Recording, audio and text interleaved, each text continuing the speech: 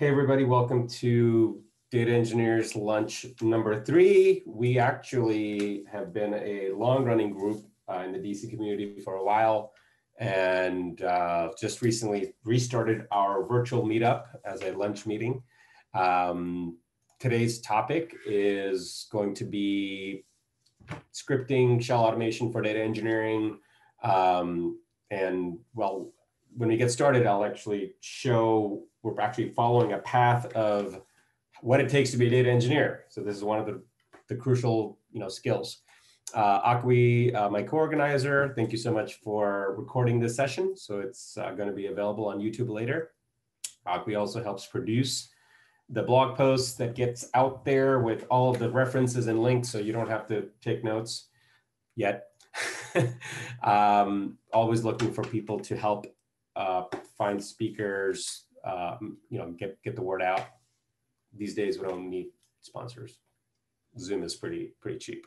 Uh, Data Community DC is a much larger group. Uh, we are part of a very diverse and inclusive um, environment of professionals. Um, and if you know somebody from a different background, race, gender, creed, love to help them uh, get their word out, uh, especially if they're underrepresented we are one of, as you can see, 12 different meetups. And what do we cover here? We cover data engineering, uh, which is the middle of everything now uh, in terms of in, you know information technology, especially digital technology.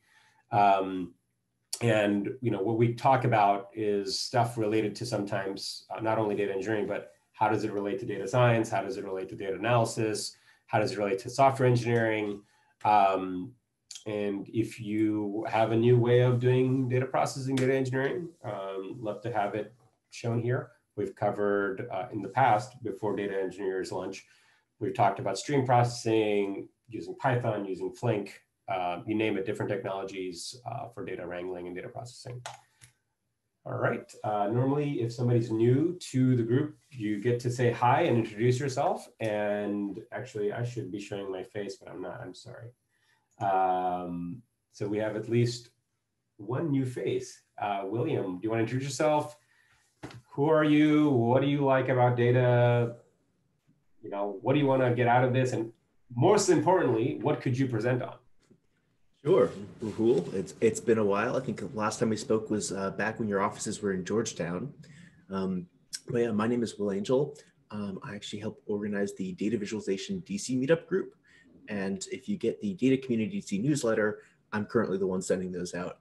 Um, uh, and I do a, a mixture of data science, data analytics, uh, though I'm probably going to be starting a new role doing uh, as a analytics product owner in the next couple of weeks. Pretty exciting.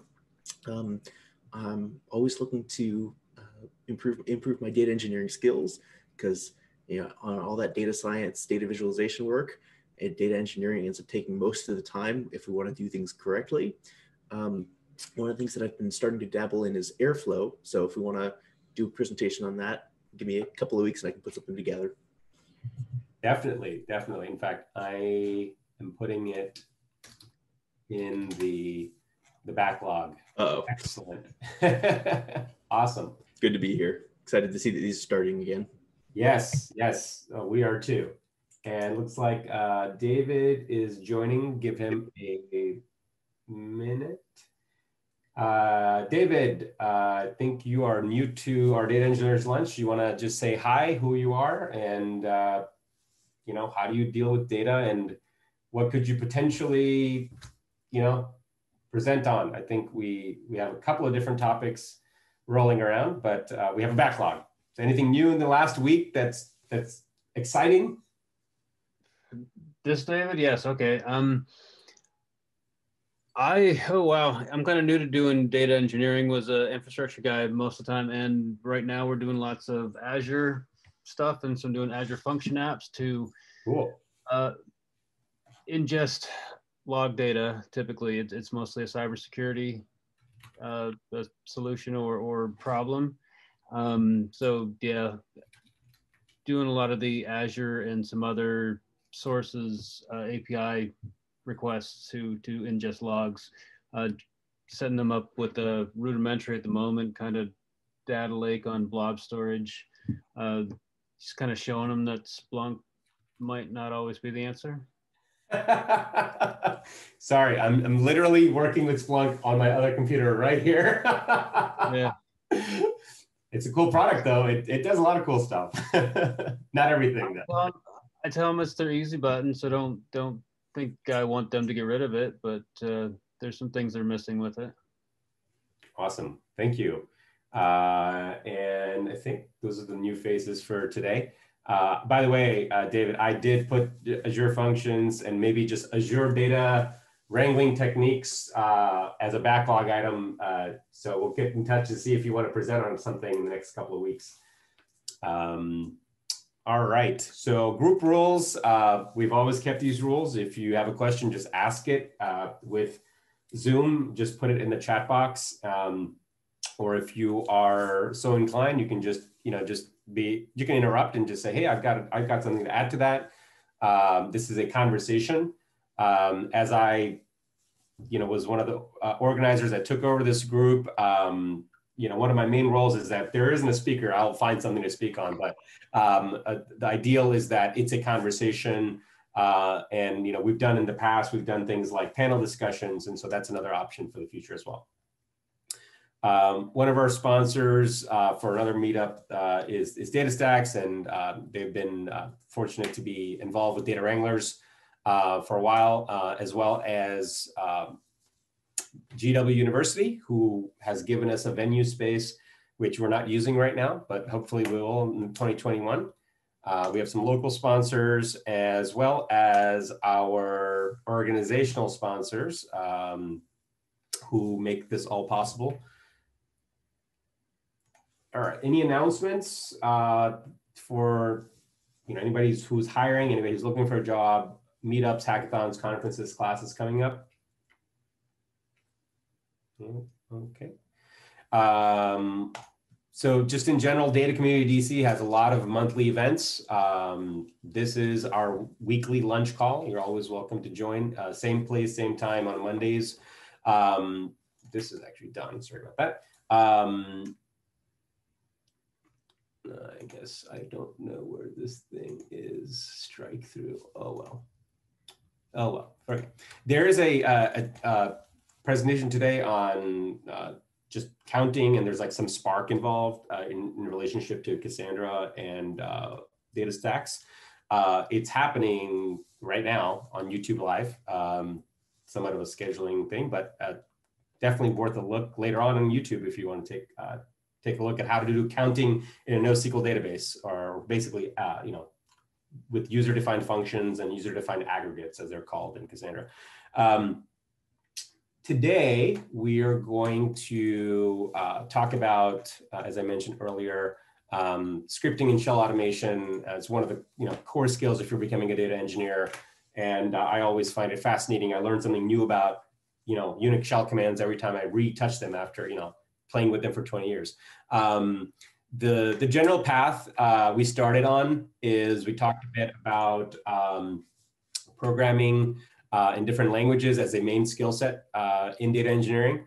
We're talking today about scripting and automation, um, you know, different ways to manipulate data without necessarily programming in Python. Uh, I think shell scripting itself is a programming language, but um, the idea that you don't have to be a you don't have to get into a formal, uh, you know, higher level programming language to do some data manipulation. Um, we talked about uh, different types of uh, you know, ETL frameworks, whether they're serverless or whether it's based on JVM or, or uh, CLR, uh, even some topics around Node. Um, and today we're talking about just generally, you know, the, top tools in shell scripting and automation.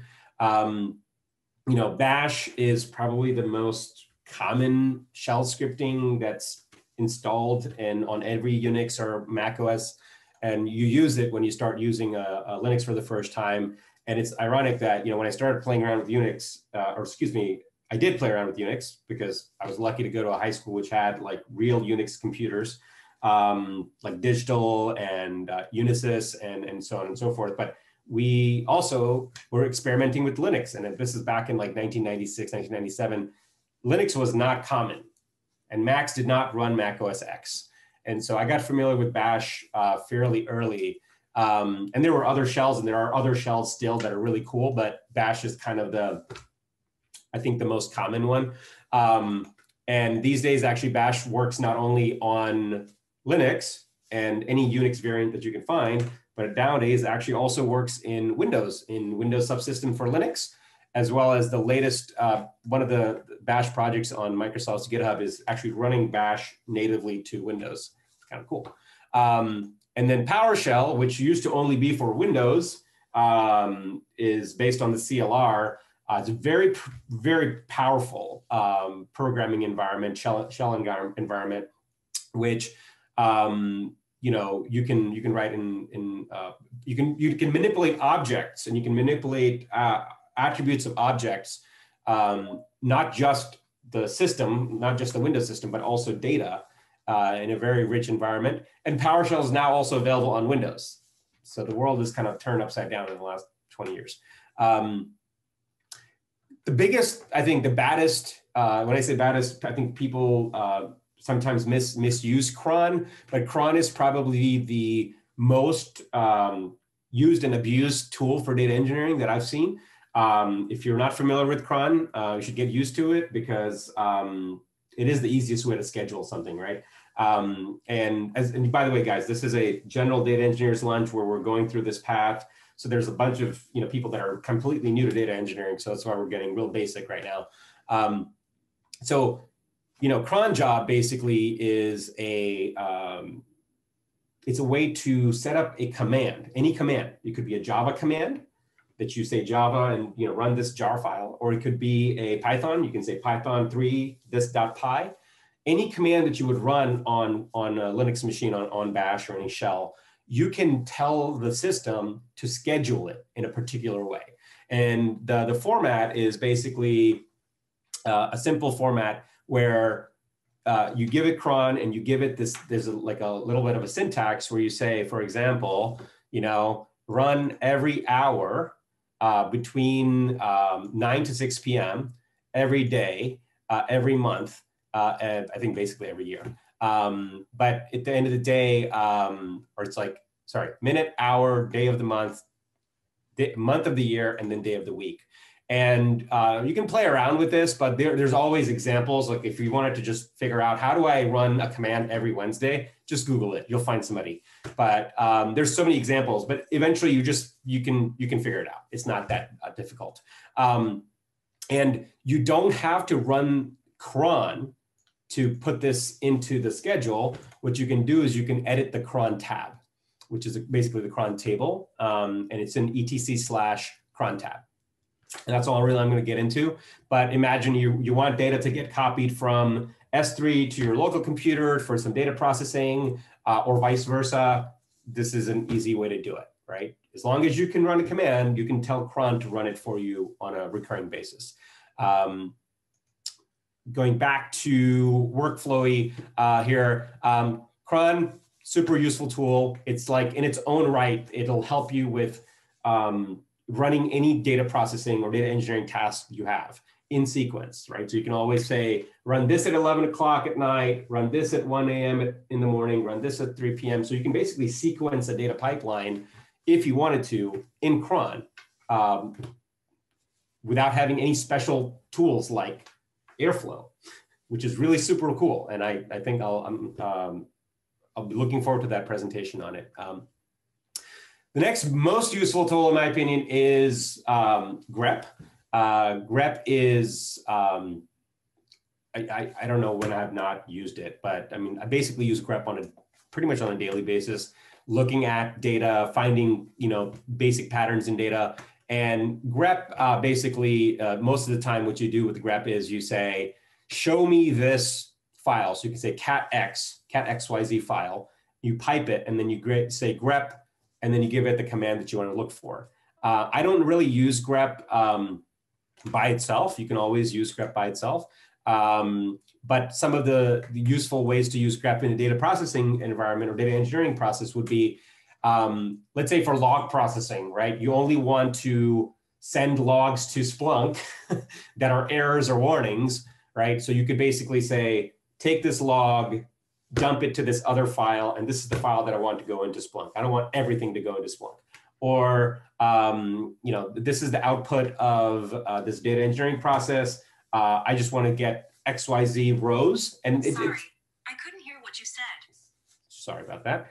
Um, but grep is doing it on a line by line basis. It's not doing it at like a paragraph or sentence basis. It's a very dumb search. Uh, and it does things like, you know, case insensitive, sensitive, um, if you want it. Um, this is useful if you want to do some pre-processing for actual processing.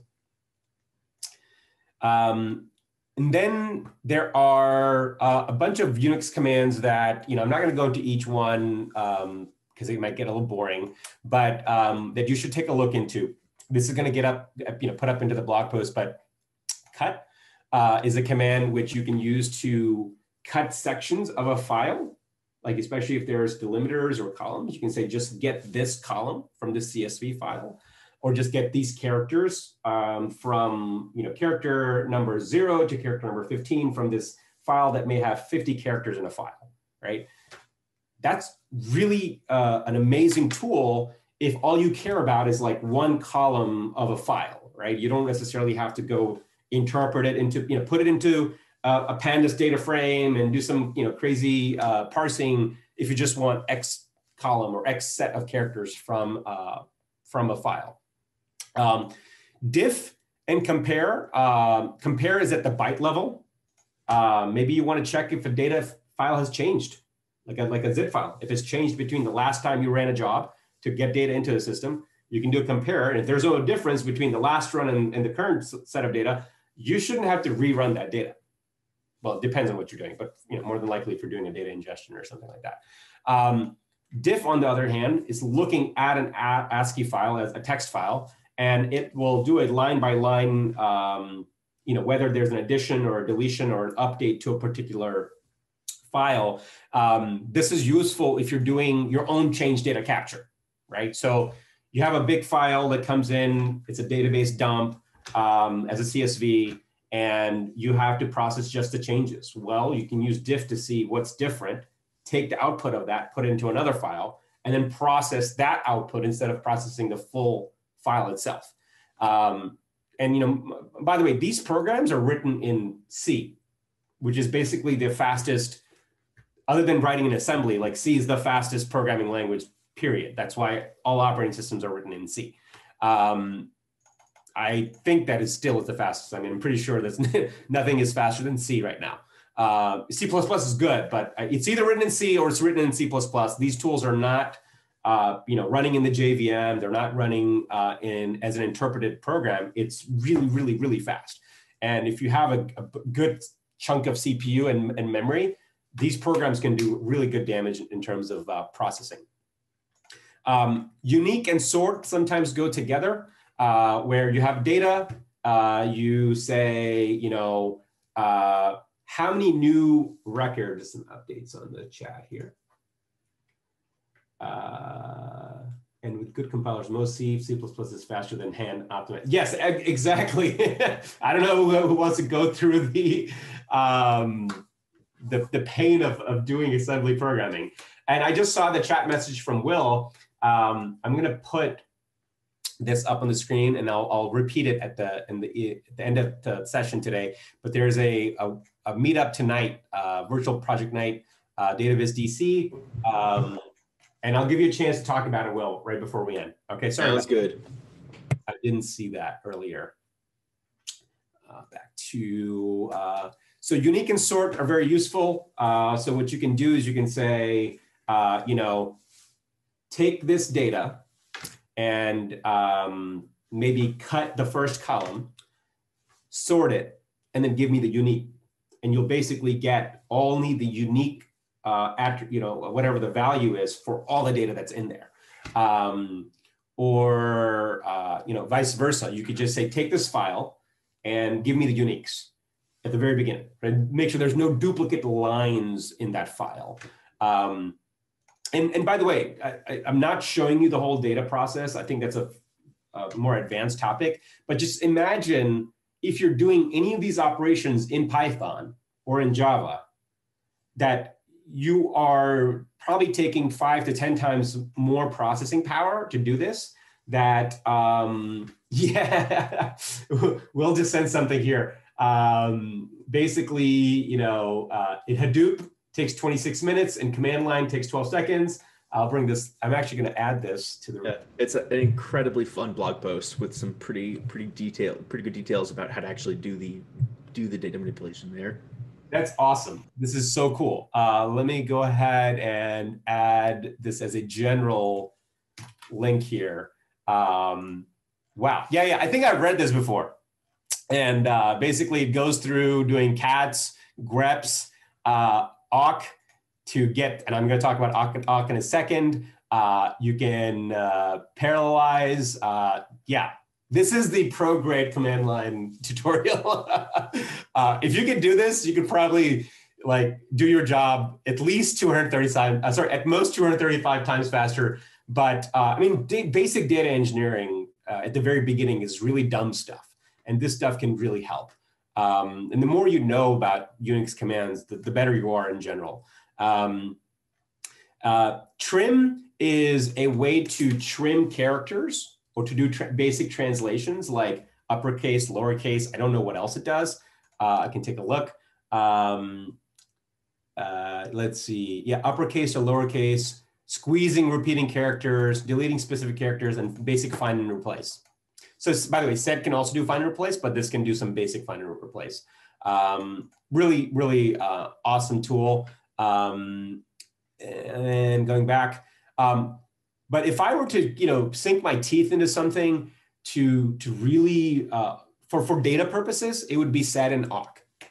And um, you know, sed is it stands for stream editor. Um, and when when we say a stream, it can not only operate on a file, it can operate on like a tail. Like when you say tail XYZ file and the file is continuously changing, sed can operate on that stream itself.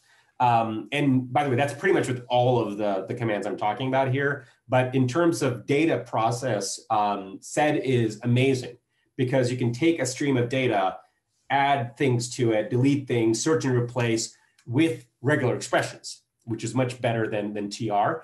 Um, and then the other tool is, is awk. And awk is basically, you know, uh, it, you can split it. You can do line splits or you can do field splits. Um, and you know, sed and awk are commonly used for um, you know in, in conjunction, right? Uh, what could you do? You could say, looking at this file, um, you know, do a search and replace, do the XYZ clean process. Maybe you do some of these sort unique functions, um, uh, and then do an awk process on it. Meaning, you know, take this line, put it into fields, uh, do this. And by the way, you can do addition. You can do some string concatenations. You can do like uh, basic functions on here. Um, I don't I haven't used the the conditionals, but I've definitely used formatting output and uh, basic math and string operations on here. Super fast, right? This is super fast. Um, what does an awk command look like? So like, let's say you have this file here, right?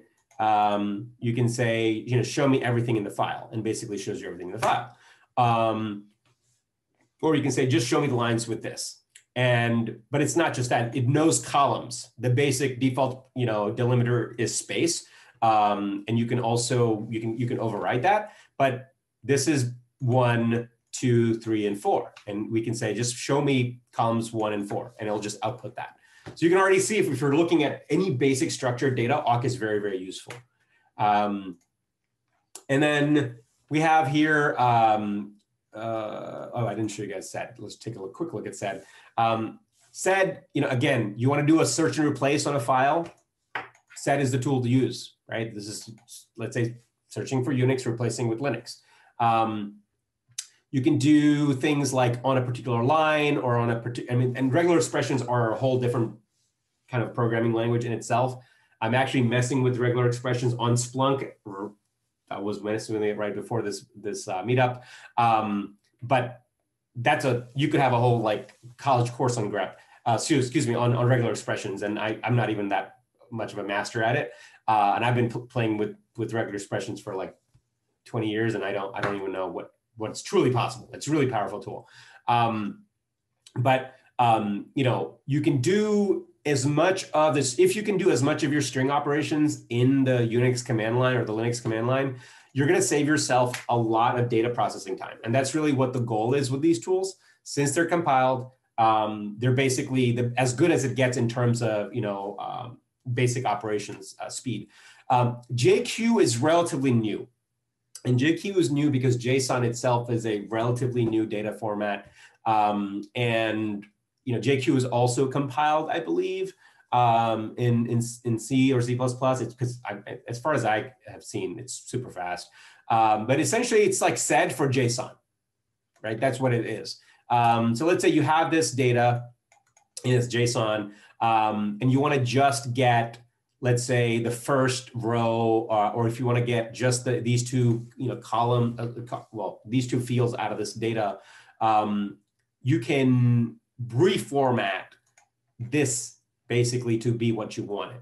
And the way you do that is you you can look at a file. You can just say cat this file, uh, and when you pipe it to JQ, dot means give me everything, right? That's that's the root.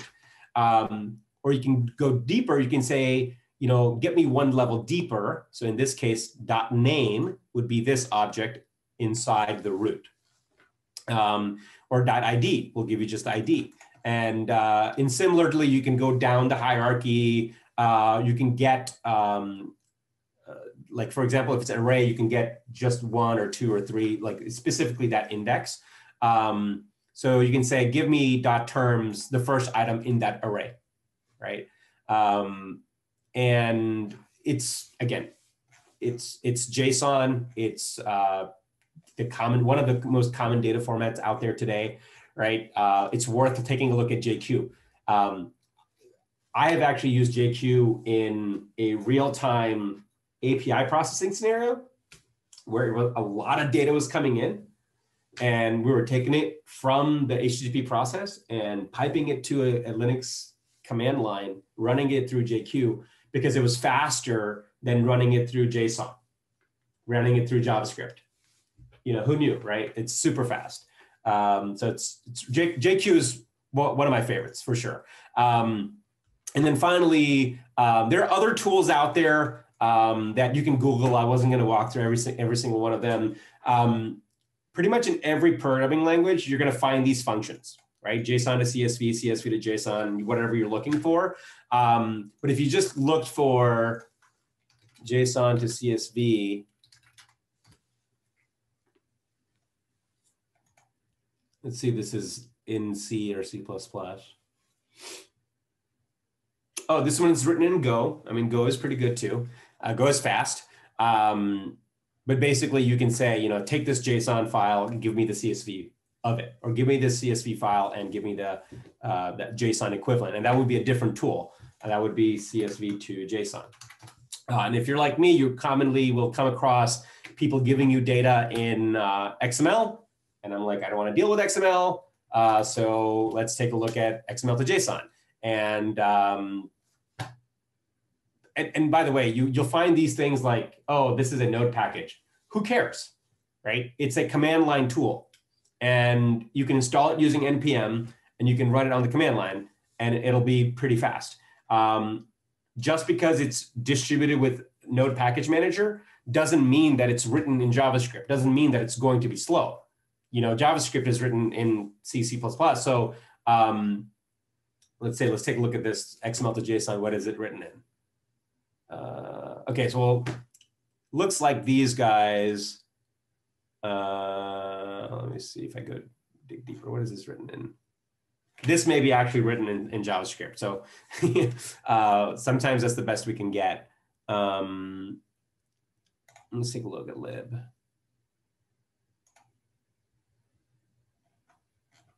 All right, yeah, so this one's written in JavaScript, you know, big deal, it's okay. All right, but if you're really specific, you can say compiled JSON to, oh, I'll just do XML to JSON. And this is a Perl one. Now, Perl is a, I don't know why I didn't mention Perl. I don't know. I forgot about Perl.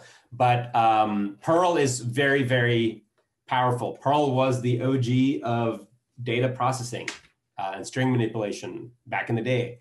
Uh, basically, what people would say, oh, I know Python, right? People say, I know Perl. That was a script, scripting language back then, and it's super powerful still.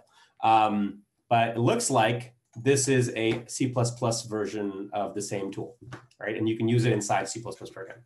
Um, so that's kind of the, the landscape as far as I know in terms of command line tools. Um, do any of you guys know other tools that are worth mentioning that uh, one should know about um, in terms of you know command line tools for processing data?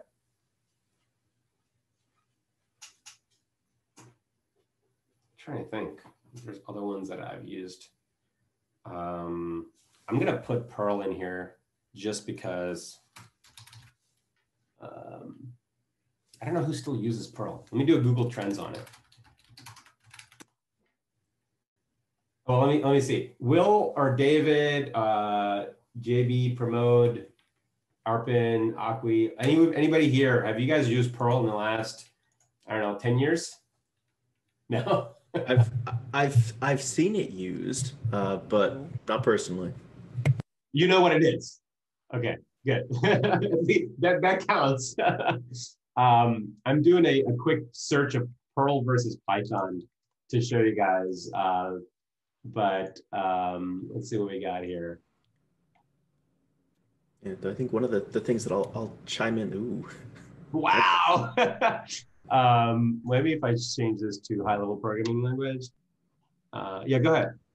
Yeah, I, I was just going to say that when talking about you know uh, command line programming, it's always helpful to remember that Python can be done as, as a as a command line uh, interface. Uh, even better if you move to something that's uh, semi-permanent like Jupyter notebooks. They're you know if the limiting factor is not computing performance but your time, uh, you can be very very productive at prototyping some data manipulation in Python. Yep, absolutely. Um, and I think that's one of the, uh, if it's not already one of the um, backlog items, I believe we were talking about potentially using, you know what, let's, let's, uh, let's put that in there. Like, you know, how to go from,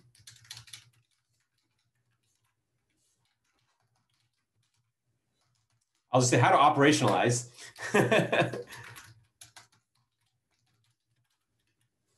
because that's a common um, challenge uh, in at least in my work environment different clients they're using jupyter or jupyter hub and then you know with to show them how to like get to the next level. Um, but yeah definitely. And uh, you're, you're absolutely right about i mean python once you write the program in python um, you can put it into the lineup of the data process right? That's the cool part about it. And and you can run it as a cron job you don't have to have anything fancy for, for, for any of this. Um, and let's see.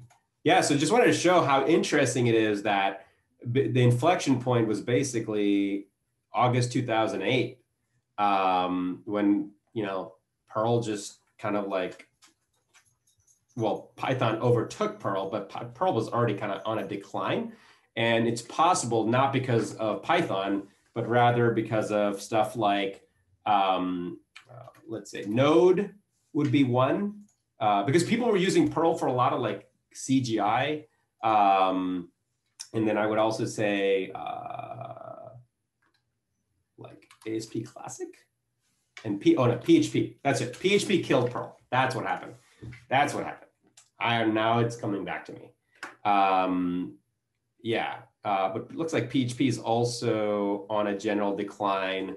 Uh, maybe we have to go back further, but looks like Google doesn't have infinite history.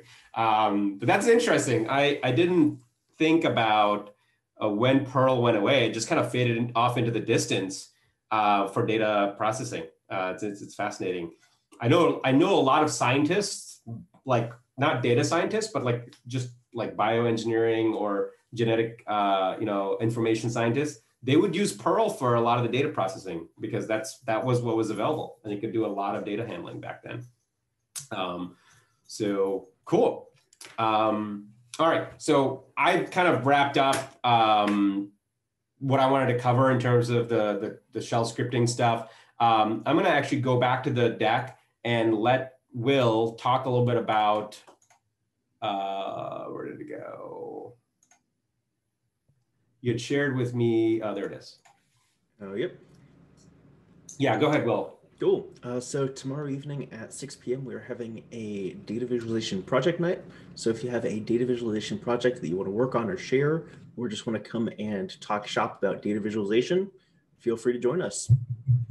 Awesome. And uh, is it like structured? Uh, are people just there? Is there a lineup, or is anybody can come and just say, "Hey, I want to show something"? Yep, yep. Any, anyone can come. These these project nights are fairly fairly informal and casual, um, but we do usually have a, a lineup for other events of more like webinar style data visualization presentations. I like it. I, I think the uh, the this is a better search term for for people to understand than like lunch. Maybe we'll uh, we'll call it data engineers project lunch. Though to be to be fair, you know, since since going virtual, it's very rare that people actually make real progress on a project. It's more about the, the socialization. Yeah, no, I totally get it. I mean, it's like the night owls, right? The night owls, which is now part of data communities. I remember when it first started, and nobody was working on their project. People were just hanging out and just like drinking beers and just kind of chilling at the. Uh, I think it was at the General Assembly back then. I don't know, but uh, is night owl still happening? Um, I'm trying to think. Yeah, so night night owls, I think, is uh, at this point dormant. Um, one group that actually I think we should uh, make introductions to uh, that we're just in the pr- final processes of uh, getting into the the community is the Data Ops DC meetup. Ooh, Um, and nice. there because there there's a, lo- a lot of overlap between data engineering and data ops definitely. Um, no, that's a that's a another term next to DevOps. Data ops is now becoming real. So um, this is Data Council. trying to think. yeah i'll, po- I'll, I'll post a, a link to them just a second Awesome. Very cool. Uh, would love to to collaborate with them. Um, I'm glad somebody did it. I mean, the the market is out there for people. I mean, like honestly, um, the reason that we do the meetups, and you know this, Will, is that um, as a, as a practitioner, it's really to teach people how to do stuff because Yeah. not that many people know how to do stuff. Um, so this is cool. yeah and if you if you pull up uh, google google trends of uh, yeah data you know data ops and uh, ml ops there's a lot of buzz around machine learning operations Oh yeah, totally, totally, totally. I'm Okay. gonna just quickly bring that up here. And uh, one of that, I think that that real pain point for that was mentioned earlier of going from you know Jupyter notebooks to something that's actually fit for production. Yeah. That is a, a huge pain point for for a lot of things, but I think especially for data and machine learning compared to regular application development, it's less. There's a much clearer boundary between a prototype and a real system. Because for a web application, the prototype has to be online and has to work. That's not true for machine learning or data engineering. Yeah, and you know, um, like right now, uh, without disclosing too much detail, but like in terms of technology, right? So like Databricks um, is a technology we commonly come across uh, for Spark, but it's you know it's it's it's selling a notebook first environment, right? And so they have some ability where you write a notebook and you can include other notebooks and whatnot. Um, and then you can run the notebooks as a job. You can say run this via API, and you can you can do a cycle with that. But eventually, eventually, if you want to have common code, they recommend compiling it as a jar and compiling it, putting it into a package, and then deploying it as a package so that everybody can use it. So it's not just for um, you know people that don't pay for all this cool data ops software. It's for everybody. That eventually you need to think long term. How does this data process become more optimized? Um, you know, an engine. Um, And I think that I think that's that's even true without notebooks. Uh, like for example, if you write a you know Python script to do some ETL, there you know, you put on a cron job and it works, but it's not you know it works. It, it does what it needs to do. but do you have monitoring? You know, if it breaks or starts putting in bad data, do you have data testing, quality, all that? Yeah. So Yeah, like the the whole um, move to, for example, managed everything, right? Let's put everything on a managed system, um, managed by somebody else. I'm all for that. But then you eventually still have to come back to: Did the job run? Did it run successfully? Did the thing end up in the right place? Um, or uh, you know, even if you don't have to manage the hardware, uh, I think David, I mean, I'd love to hear your thoughts on when you go to serverless functions, for example, because you're talking about Azure functions. Like, how do you orchestrate all that stuff together? Like, what's been your challenge with that and operationalizing that? Uh, my client right now really isn't to that point yet, but um, we've taken. I, I've used Data Factory a bit for some of those items. Uh, it, it's running the gamut, but we're a little immature in that we've got stuff in Data Factory. We've got functions that run. Um, I've got web. I've used webhooks here and there with just like PowerShell.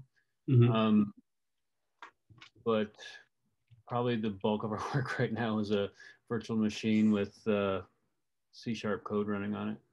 Gotcha. So you mentioned PowerShell. So you actually use it for some of the stuff. Is it to wrap your C sharp code, or is you actually have uh, C sharp in your PowerShell? That was just a, and it's not, it's not currently in use. That was, that was just a small job that honestly, I can't remember what I was using that for, but it just had such, before that Azure changed that, the webhook and the, uh, they changed their name so often. I'm forgetting the, uh, the orchestrator that they had. That, Oh, for for data processing. Um, for, any kind of job, honestly. Um, and oh, this was I think it's like Cloud Scheduler or like something like that. I, is that what you're talking about? exactly, and they, they've they've since changed it, but Yeah. um, yeah, we're, we're, again, we're, we're a bit on the immature side, and everything's just going into blob storage, and then any real, uh, well, I mean, I don't think they do any ETL or any any beyond reporting in in Splunk. Mhm. So that's that's where I'm trying to get them in a more mature state to where they start combining some of their data sets Mhm. and and doing doing that kind of work and ha- having creating data sets from the, just their their their lake of blobs, uh, uh, log data blob. Gotcha. So we're we're not there yet. Gotcha. Here we go. Yeah, it was called Scheduler, and then they're retiring it um, to basically, uh, they're calling it uh, Logic Apps, kind of like Yeah. getting you to buy into their whole ecosystem, um, which is a damn shame, by the way, because every client that we have eventually asks this question. Every client, if they're on the cloud, hey, is there a cloud version of cron? Yeah. Every single client asks that question. And I'm like, yeah, you might want to run Jenkins or you might want to run Airflow because there's really not a lot of good one. I think um, Azure, I mean, AWS has something, um, but uh, I, I kind of play around with it. Um, but, and then th- this whole world of using serverless functions uh, for ETL or data processing is fairly new. Um, so that's why it's, it's, I mean, I, I want to say so much of it is the same, but so much of it is different, right? When I say so much of it is the same, it's like using command line tools that we're talking about, breaking it up into steps, um, and having a place for that data to go in, um, and then have it picked up by another process. I mean, so much of that is basically the same. It's just that when you start thinking event based, everything is you know one event coming in uh, and it has to be processed. Um, it, it, it forces you to change your mindset about uh, work. And um, we covered this a while ago in the same meetup, but batch is still relevant. Like batch processing is still super relevant. It's not going to go away, you know, um, as is event-based streaming. So you kind of have to have this like somewhere in the middle, uh, what works uh, for everything. Um, And uh, yeah, on that note, for that that diagram, with a with a little bit of time, how much of that do you think you could accomplish with a single shell script in a cron job? Oh, totally. oh no, no, absolutely. It's it's mind-boggling. And you know what? The the the question I ask is, what is the driving motivation to do this in serverless? Okay. And essentially, sometimes they say cost, right? Oh, it's going to cost less. And I'm like, okay, well, what about just doing this in a Docker container, running it, running it on, on ECS or, or even EKS, have it do its job and then go away. Like it's perfectly fine for that. Uh, and then there is really no good answer, except it's such a massive thing. We want to be 100% based on cost. Uh, sorry, based on uh, usage. Uh, we want to only pay for what we're using. But I mean, the engineering, the re-engineering to go from a basic Dockerizable or whatever Sparkable, right? Even Spark is such a general purpose tool now. What you can do in Spark or Docker or Kubernetes, you really have to be stretching it to get to pure serverless. Um, and I'm not saying that it's not a good technology. I'm just saying like for data processing, I'm really trying to figure out if it's maybe I have to take that leap of faith and say the business has to be 100% real time, and like this is what you need, right? Um, because like you know what's what's the goal eventually it's like what's the goal what are we trying to do here um, the serverless functions david did you guys use uh, c sharp serverless functions? You said you just kind of like played with it but what did you use for the programming language? C sharp. C sharp um, i'm stronger in python so i've got some python projects that i'm going to go through or send through. Um, probably use their their dockerized uh, function apps just for that. Gotcha, gotcha. Um, and like, what's the start? I mean, I know C sharp is just in time compiled, but like, what's the startup time and like execution of that script? Um, I would have to tell. I'd have to go look. I don't have it off top of my head. It's not a highly stressed. Oh, okay, gotcha. Function app at the moment, so it's it's that's that's not the my biggest concern. gotcha. I, I know it's it's one of those many things that you know you have to do. I know I have to do, but I don't know yet. Yeah, yeah. Um, Will, what about you? What kind of stuff have you uh, worked on in the serverless realm? Yeah, in in serverless, uh, very very little. Uh, for the most part, it because of a combination of not having experience with it and thinking that it's usually you know overkill and over engineered, yeah. I've avoided it. But like you're talking about containers, um, I think everybody's touched containers. How do you use containers these days for data? Yeah, my my preference is to deploy them to EC2, or if it's a personal project, just run them locally. Mm-hmm, mm-hmm. Gotcha. So like actually running an EC2 with Docker installed versus like using the ECS managed Docker. Yeah, though using ECS is probably a smarter move these days, but there is something to be said for the, the simplicity of just you know just using compute and storage, uh, you know, yeah. so like EC2 and RDS, and yeah. you know, yeah. that, that way they there it means you can uh, portability. You can run it on just about any hardware, uh, and the lowered you know, deployment architecture and thought process uh, is pretty big. Granted, most of the things that I work on are small enough where you don't need any truly massive systems right. which makes those decisions a lot easier. Gotcha. Yeah. Um, I was at reInvent last year when it was in, still in person, and uh, they were releasing. Fargate was already out there, but they were releasing Fargate for Kubernetes. Um, but Fargate is basically serverless ECS. So you just say run this container, and it runs, and just if it's a long running job, it'll or it's a long running process, it'll keep running and it'll scale as it gets hits or needs traffic, or I think you tune it. Same thing with uh, Fargate for EK, uh, EKS. Um, and that's, that's, I think, what the goal is. Like for serverless, it's kind of that, right? You just write some code and you deploy it and it does its own thing. Um, so I think it's like the, the, the serverless container world and the serverless function world are like, like almost at the same level in terms of ease. Um, I believe Azure has had for a long time, they've had app containers for the, for the longest time. Um, and I, and I think that's what the web jobs thing is as well. Like you can say, here's some code that runs, you know, in the background somewhere. Um, it's a far cry from what uh, we used to do. I don't know if you guys have been around the, uh, the, the data centers physical data centers, but like, oh my god, like to to push a button and have code infinitely scale, it's kind of amazing. um, awesome. Looks like we're we've exhausted some of the topics for today, guys. Um, we can call it um, for for today. Um, next week, um, actually, let me get um, uh, David. If you could put your email in the chat box, we can reach out and see. You know, if you want to do a presentation on Airflow in the next com uh, coming weeks, uh, if you're ready next week, uh, and then um, uh, Airflow. Um, I think you mentioned it, William. Uh, if you want to talk about it, that'd be great. Just like a zero to hero, as they say. so, so, sounds good. You said uh, next week. You want to do it next week? Let's do it.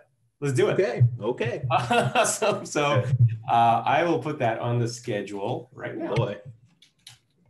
So airflow zero to hero. Uh, no, not setting you up for anything. uh, setting me setting me up for success. Yeah, exactly. Um, cool. And I'll and I'll update and um, and Akui will help update up on the website. Um, and then D- David, whenever you're ready, I think uh, looks like uh, William is more confident and can go. Do you want to schedule? Maybe put it up for the week after. Uh, no, I'm going to say no to that. Let me think about how and what I would present and get a little bit more confidence, as you say, as William has and I do not. Okay, awesome. Very cool. Um, thank you. I appreciate the the willingness. Um, and you know, we'll look for, forward to the, the, the next week, uh, William, to your presentation. Uh, we will reach out. Um, actually, William, could you put your? I have your email. Never mind. I have your email. I'll send uh, Kui your uh, your email address. Cool. And is the best email for you uh, your data community C or? Uh, I'll just I just put it in the chat. Perfect. Yeah. Hey, to finish a thought real quick, Mhm. the whole probably the biggest reason we're using function apps or serverless in Azure is because working in a big government agency with a you know strict bunch of uh, compliance rules, they've just determined whether they really determined or if they just hand waved, but they said functions are okay and so now I don't have to scan a box. The Kubernetes solution is something we'll want to do when we get more more uh, ah sure. Yeah. But, but but they're not there. So this serverless functions are just the easiest way to get started and the easiest way to get something productionalized. That's that's a really good that's a really good point. I didn't yeah. think about that. Um, I actually recently had a little bit of experience using uh, AWS SageMaker for some ah. sort of machine learning operations. And there, if you actually look at their pricing details and some of their case studies about the cost savings, yeah. as they say can be like 50, 60% cheaper, yeah. there, most of the savings that they identify is in compliance burden and yeah. the actual time it takes to make sure everything is secure and monitored. Right. Um, right. As far as the actual pure compute, it's not it's only a little bit cheaper than rolling everything yourself. Yeah and and uh, well sagemaker uh, again they released it last year. Um, it's it's got a lot more bells and whistles than just the costs. I mean being able to do basically auto uh, auto ml right? That's the big cool part of it. Like you give it data it automatically um, you know, detects drift and starts to retrain and uh, that's yeah there it is autopilot. Um, but at the end of the day, you have to start somewhere, right? And you don't need SageMaker to start somewhere. You can just start on your computer, and then you know, obviously, like they're uh, they're basically have Jupyter Hub, you know, wrapped around their super cool technology. Um, the other thing that I think SageMaker uses that is slightly different is that they have their own um, CPU that they designed because they had bought this company where um, it's optimized for evaluation. Like literally, yeah. the, the, CPU is evalu- uh, is for for machine learning evaluation. Yeah, I think on the serv- on the serving side, especially where they, they've got it running on custom hardware, there's some some potentially big cost savings. on the training side, I don't think those materialize quite as much, but Yeah. it's figuring out what is actually more efficient when comparing these sort of these apples and oranges systems gets very complicated. And Yeah. If you're working on a small scale, usually the time you spend trying to figure out which one is cheaper, if someone's paying for that, means that you've eaten into the savings. Yeah, yeah, absolutely. Um, I'm curious what's gonna what they're gonna be presenting to. Uh, my joke is, what are they presenting to eat somebody's lunch this time around? Yeah. um, yeah, it's uh, it's starting right now. Um, awesome. Well, it is top hour, uh, folks. Um, thanks again for joining uh, Data Engineers Lunch, and looking forward to seeing you all next week, uh, same time, same place. Um, don't forget to uh, join the meetups uh, online and um, subscribe to the YouTube channel. Thanks, everybody, and we'll see you next week. Thank you. See you all next week. 拜拜。